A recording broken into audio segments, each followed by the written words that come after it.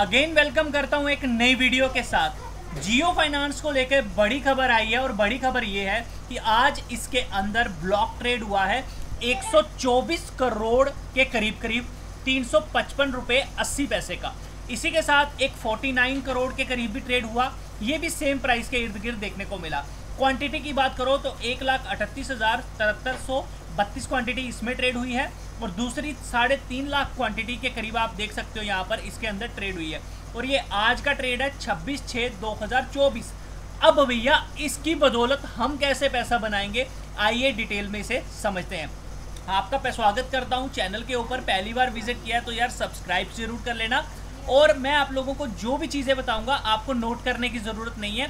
क्योंकि live data आप लोगों को प्रोवाइड करवा दिया जाएगा। वीडियो के डिस्क्रिप्शन में लिंक है टेक्निकल एनालिसिस हो या फाइनेंशियल हो, सारी चीज़ों का लिंक आपको वीडियो के डिस्क्रिप्शन में मिल जाएगा फ्री ऑफ़ कॉस्ट तो सबसे पहले भैया हम फंडामेंटल के ऊपर चीज़ों को समझने की कोशिश करेंगे कि आखिर अगर हम जियो फाइनेंस में पैसा लगाते हैं, अच्छी है या बुरी है तो यहाँ पर ध्यान रखो प्रमोटर ने थोड़ा सा माल जो है, वो खरीदा है। ये बात ध्यान रखना, ये एक पॉजिटिव चीज़ है।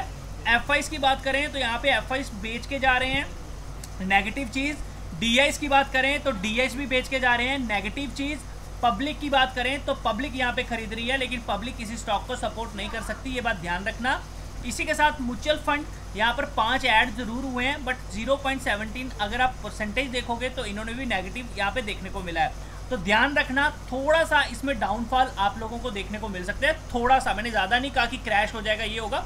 हो सकता है थोड़ी प्रॉफिट बुकिंग और देखने को मिल जाए, इस बात का ध्यान रखिएगा। बाकी ओवरऑल इस कंपनी का डेटा अच्छा है। अगर आपने पैसा लगाया है इसमें तो आपको आने वाले समय में पैसा मिल जाएगा। यानी कि डूबने के चांसेस नहीं है, क्योंकि आप एक बड़े जहाज़ के साथ पैसा लगा रहे हो। आप अकेले नहीं हो कि बस प्रमोटर ने पैसा लगाया और आपने लगा दिया। बड़ी बड़ी फर्में F I mutual fund research करके आते हैं। आपका पैसा उनके साथ लगाए तो ये विश्वास आपके अंदर होना चाहिए। रही बात रेवेन्यू की काम की तो भैया अच्छा खासा रेवेन्यू कंपनी ने यहाँ पे जनरेट किया 2024 में। बात करें प्रॉफिट की तो अच्छा खासा प्रॉफिट भी जनरेट कर रही है अच्छा खासा हमें देखने को मिला।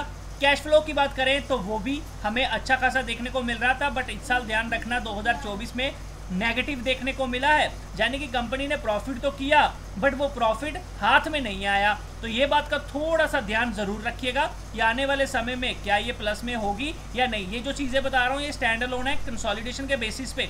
अगर आप देखते हो तो उसमें भी नेगेटिव है, ये बात ध्यान रखना। और कंसॉलिडेशन के बेसिस पे रेवेन्यू अच्छा खासा यहाँ पे देखने को मिल रहा है, ये बात ध्यान रखना, अठारह सौ तिरपन करोड़ का।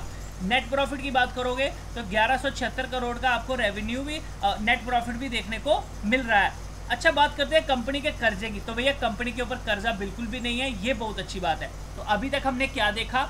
हमने देखा कंपनी काम कर रही है टर्नओवर कर रही है प्रॉफिट जनरेट कर रही है बट प्रॉफिट हाथ में नहीं आया, ये बात ध्यान रखना, क्योंकि फाइनेंस सेक्टर की कंपनी है तो इनका प्लस माइनस होता रहता है, लेकिन यार, इतना भी नेगेटिव नहीं होना चाहिए। प्रॉफिट से थोड़ा मिलता जुलता होना चाहिए तो इस बात का थोड़ा सा आप लोग ज़रूर ध्यान रखिएगा। तो याद रखना, ये मैनिपुलेशन भी हो सकती है। अच्छा इसके बाद चलते हैं सीधा सीधा हम बैलेंस शीट के ऊपर। भैया बैलेंस शीट के अंदर रिज़र्व एंड सरप्लस बहुत अच्छा है। सॉरी एक लाख बत्तीस हज़ार सात सौ चौरानवे करोड़ का अच्छा खासा रिज़र्व है। लॉन्ग टर्म बोरिंग कुछ भी नहीं है, मैंने आपको पहले ही बता दिया। इसके अलावा कंपनी के पास अगर आप इन्वेस्टमेंट देखो तो एक लाख तैतीस हज़ार दो सौ बानवे करोड़ की इन्वेस्टमेंट भी की है। इसके अलावा दस हज़ार नाइन फिफ्टी नाइन करोड़ का कैश एंड इक्वलेंट भी है। तो अगर आप यार कंपनी का बैलेंस शीट देखो तो आप ये कह सकते हो कंपनी को कैश रिच बताया गया है। अच्छा खासा कैश कंपनी के पास। है। यानी कि कंपनी अच्छा खासा सर्वाइव कर सकती है आने वाले समय में, अगर एक दो लॉसेस और भी देखने पड़े तो। ये बात ध्यान रखना।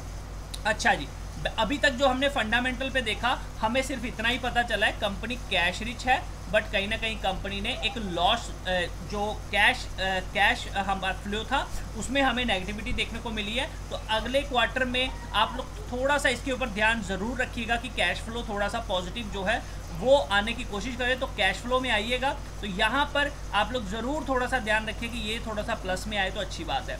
अच्छा भैया, इसके बाद आते हैं सीधा टेक्निकल के ऊपर। दोस्तों एज पर टेक्निकल मैं आपको बता दूँ कि ये जो ड्राइंग वगैरह मैंने की है, ये सारी चीज़ें आपको ट्रेडिंग व्यू पे मिल जाएगी। डिस्क्रिप्शन में आपको लिंक दिया गया है, ठीक है?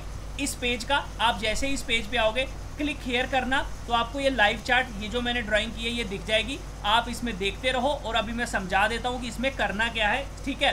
तो चलो, ध्यान से समझ लो, समझ आएगा डॉट इन को भी मार्क कर लेना अपने पास। इसी वेबसाइट पे आपने आना है, अगर आपको लिंक नहीं डिस्क्रिप्शन में मिलता, आप डायरेक्ट भी गूगल पे सर्च करके आ सकते हो। दोस्तों एज पर टेक्निकल अगर हम चीज़ों को देखने की कोशिश करें तो हाल फ़िलहाल में इसका एक रेजिस्टेंस निकल कर आ रहा है 368 का। इसके ऊपर निकलते ही एक फास्ट मोमेंटम देखने को मिलेगा 378 390 अगर इसके ऊपर निकलता है तो हम क्या करेंगे? हम क्या स्टॉप लॉस लेंगे? हम 355 का स्टॉप लॉस लेंगे, जिसके अंदर आज ब्लॉक ट्रेड हुआ है। 368 के पहले हम लोग बाइंग नहीं करेंगे, क्योंकि हो सकता है ये सेलिंग की गई हो और आने वाले समय में हमें फॉल भी देखने को मिले। क्योंकि जिस लेवल पे ये ब्लॉक ट्रेड हुआ है, अभी तक ये उसके ऊपर नहीं निकला है, ये बात ध्यान रखना। तो हम अगर बाइंग करेंगे, हम 368 के ऊपर बाइंग करेंगे और 355 यानी कि 10 पॉइंट का ही हम स्टॉप लॉस रखने वाले हैं और हमारा पहला टारगेट 10 पॉइंट का ही रहेगा, दूसरा 390 का। और ध्यान रखना, अगर इसके ऊपर ये स्टॉक निकला तो फिर आने वाले समय में अगर आप 2025 तक लेके चलो तो भैया हो सकता है ये स्टॉक आपको कम से कम भी सात सौ छियासी, नौ सौ, आठ सौ तक भी जाता हुआ दिख सकता है, क्योंकि ये एक इस ट्रेंड को जो तोड़ चुका है, ये वापस उसी में जाने की कोशिश करेगा और उसके हिसाब से इसमें अगर ट्रेड करता है तो फिर 2025 तक अच्छा रिटर्न आपको दे सकता है, जिस तरह से इसकी फंडामेंटल कंडीशन देखने को मिल रही है। अभी आपको सिर्फ़ एक ही चीज़ करनी है कि अगर आपको ट्रेड लेना भी है तो हावरली बेसिस में आपको बता दूँ, देखो यहाँ पे भी मैंने ये चैनल पैटर्न ड्रॉ किया है। जब तक इसके अंदर ब्रेकआउट नहीं आता, आपको ट्रेड नहीं लेना। अगर ब्रेकआउट आ भी गया तो आपका स्टॉपलस क्या रहेगा? 355 इससे बड़ा स्टॉपलस लेना ही नहीं है आपको। इसके नीचे जाता है तो फटाफट एग्जिट वाली बात करनी है। क्यों? क्योंकि हमें पता है ब्लॉक ट्रेड हुआ है। भैया, या तो यहाँ सेलिंग हुई है, या तो यहाँ पे बाइंग हुई है। ये बात का ध्यान रखिएगा थोड़ा सा ठीक है? तो अभी ये ड्राइंग को मार्क कर लो डिस्क्रिप्शन में आपको लिंक है। जैसे ही ब्रेकआउट आए तो आप ट्रेड ले सकते हो। थोड़ा सा टेक्निकल सीखना चाहते हो तो वीडियो के डिस्क्रिप्शन में हमारे दूसरे चैनल का लिंक है। वहाँ पे जाके आप सीख सकते हो। वीडियो अच्छा लगा लाइक ज़रूर करना शेयर ज़रूर करना। देखिए, नीचे की तरफ़ कुछ लेवल्स मैंने बनाए हैं। 307 एवरेज का लेवल है 340 पे आप एवरेज कर सकते हो। उसके नीचे एवरेज करनी है तो 239 की। तो ये कुछ लेवल्स भी हैं जो आपको मार्क करके रखने हैं। अगर कोई नीचे बाइंग करना चाहता है एवरेज करना चाहता है तो उसके लिए लेवल होगा 340 हो 340 307 ये लेवल मार्क कर लीजिएगा। बाकी दोस्तों, जिस तरह से ये नीचे की तरफ़ जा रहा है, हो सकता है आपको आने वाले समय में 340 तक जाता हुआ दिखे और वहाँ से आपको दोबारा 362 पे जाता हुआ भी दिख सकता है। आई बिलीव दैट 340 तक जाना चाहिए। अभी के लिए इसमें कोई अप ट्रेंड तो है नहीं, लेकिन लॉन्ग टर्म में ये अप ट्रेंड में है तो कभी भी ब्रेकआउट ऊपर की साइड आ सकता है। ये बात का ध्यान रखिए। ट्रेड लेने से पहले एक बार फाइनेंशियल एडवाइजर से ज़रूर पूछिए, क्योंकि रिस्क आप सबका है। मिलता हूँ नेक्स्ट वीडियो में, तब तक के लिए अपना